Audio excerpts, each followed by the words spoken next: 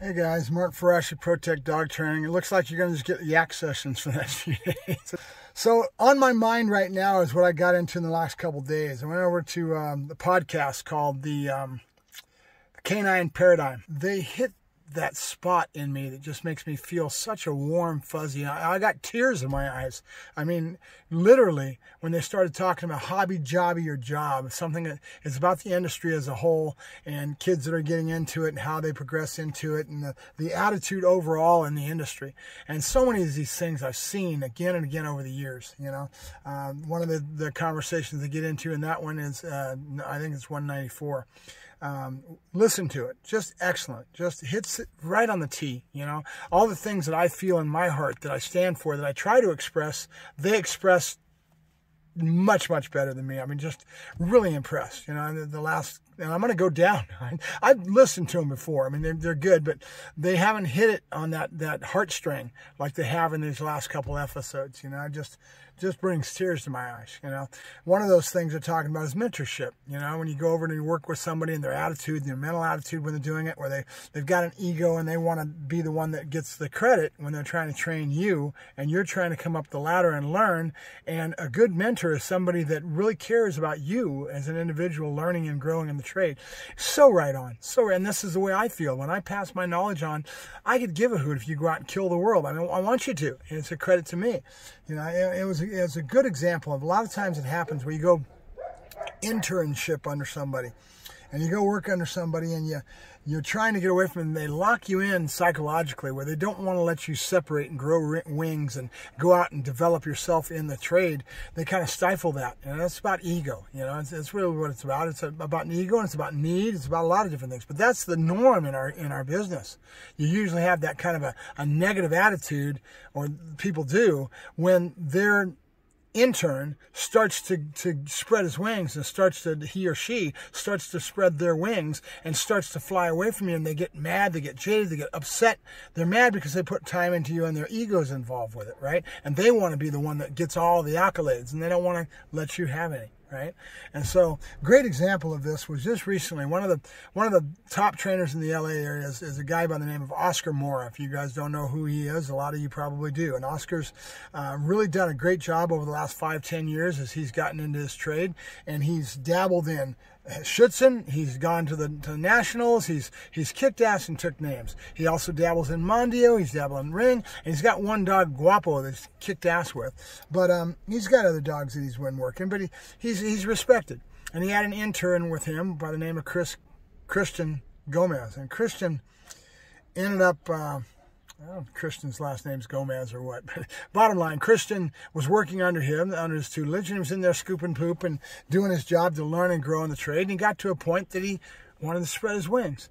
And to Oscar's credit, he actually supported it, didn't get upset at all, let him go out and gave him all the support, and they worked together off and on. I mean, Christian's still in this area, so he just started his own business, and now he's letting Christian spread his wings and grow in the in the industry and grow in the uh, in the sport of Schutzhund. And Christian's kicking ass and, and taking names with a dog that that uh, Oscar put the foundation on, but it doesn't mean anything because Christians went out and earned it. He's done all the work that that, that Roddy is showing right now, and maybe Chris, uh, maybe Oscar put the foundation on it, but it's it's that value of friendship, camaraderie, and and and pride because this kid's going off and doing his own thing. You know, that's what it really is about. That's and it just these guys, this conversation with Hobby Jobby or Job, they they just hit the heartstrings on both those episodes. It just had me in tears because I've, I've this is my trade. This is what I've done. I've seen this again and again over the years. How human nature is what it is. It's all about human nature and egos. And there's a lot of egos in dog training. And it's just something about the trade that we have such a euphoria and be able to mold and shape a dog and getting in there and doing all this pride that we put into what we're doing. And, and then we wrap our ego around it, right? And that ego is very frail. You know, it's, it's our insecurities as a, as a, as a trainer a lot of times, as a, as a person in the trade. It's our insecurities that cause us to react like that to this person that may be touching you that, that gets to a point where they're wanting to spread their wings things and, and, and go away from you. And it's just, they hit it on so many the heartstrings in that episode were just, it had me in tears. I swear to God. They did, they do a hell of a job. They've got a great attitude and, and I love them for it. You know, I'm, I'm, I'm going to go through their episodes now from top to bottom. I'm going to head over to Patreon and give them my support over there the, the best I can and live to that model of, of, of what it's all about, to, to have that feeling as a professional, to pass on the knowledge that I have. And, and that's just because I've been doing it for so long. And that's what happens with, when I go out and work with, with decoys, a lot of times it's the older decoys have been doing it for a long time. They've been there, they've done that, they care about the animal. You know what I mean? When they're they're molding shaping that animal, they don't care about the young kids come up and they're learning and they're growing. And there's something about the age bracket and their knowledge bases and everything where it's the, the kids have an ego. They want to look good, you know and they want to be the big star on the podium and, and all this part of your ego that goes into it.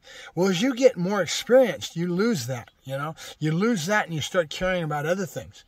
You start caring about passing your knowledge on. That's where I'm at. I want to pass my knowledge on and be able to give to, of myself to other people. And, and I'm not the world's best trainer. I mean, they were mentioning something about uh, there's a lot of trainers out there that go out and they put titles on the dog and they never give a hoot about the trophies or the certificates and they just do it because they love it and they're that good that they can do this again and again like cookie cutter.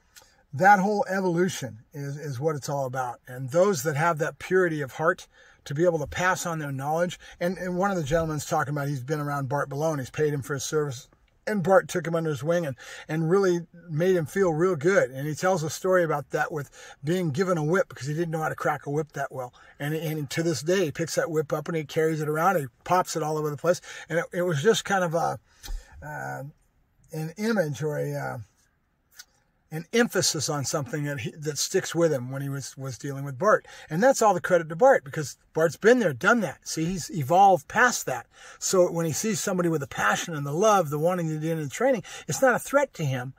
When somebody wants to learn and grow, he's going to give him that mentorship. Or somebody like Ivan. Ivan's probably a lot like that too when he works with people. You know, they charge a, they charge a dollar. Don't get me wrong. You're you're there paying them a fee to to be under their wing, but at the same time, when they give, they give of themselves fully, you know, totally.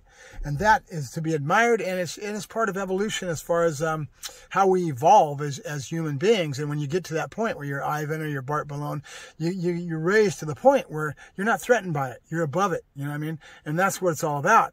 And, and that's kind of the way I feel. Not that I can sit here and say I'm all that. And then the other thing they got into is really cool on that episode. You got to listen to it for yourself, but how they say things, how they communicate is what matters. That's why I go to so many seminars. That's why I hang around. And they've they've touched on that heartstring that really makes I'm gonna go through every one of their episodes and have a lot of respect and, and admiration for their their attitudes. You know, their their their attitudes about the industry because they've been there and done that and they've learned from other people that have passed it on and they have that purity of heart that matters. You know what I mean? And I hope that the industry can be affected by their their you know, they've got a huge audience, you know, they've got people that are listening to them.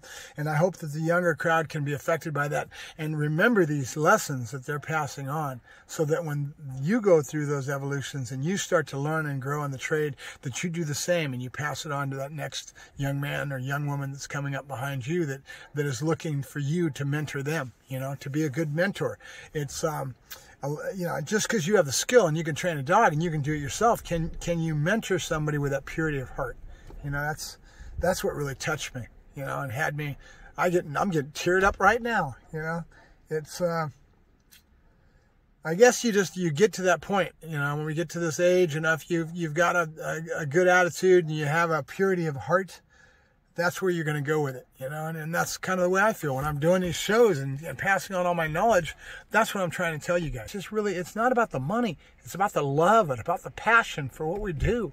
You know, the, the animal gives it to you, you know, and then being there to help your customer, to be able to educate them and, and to save a dog and to be able to educate the customer so that they have that team, you know, and they have a better relationship because now you've passed that on to your customer. That's what it's about, you know. It, it's not about the money, for me anyway, you know. Maybe there it is to some people, and, you know, there's you know, there's money to be made in this trade, but that heart, purity of heart will carry you so much further. I'll let you guys go. Mark Ferrasci, Pro-Tech Dog Training, signing off. Have a good day, guys. We'll be in touch. Thank you. Might get one or two of these a, a week, maybe three. Who knows? when my brain starts going, I got to talk and got to yak. I thank you very much. You have a good day, guys. Bye bye.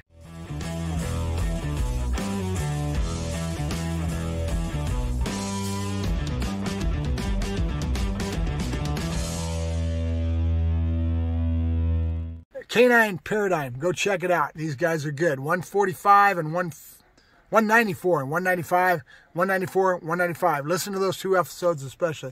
They hit my heartstrings, and I'm going to be going down the list instead and starting at the top instead of starting at the bottom because that's where I'm at. So we'll, we'll be doing that. You might see me over on Patreon. I might show up on their site on Patreon to give them some support. They deserve it. I thank you very much. You guys have a good day. Bye bye.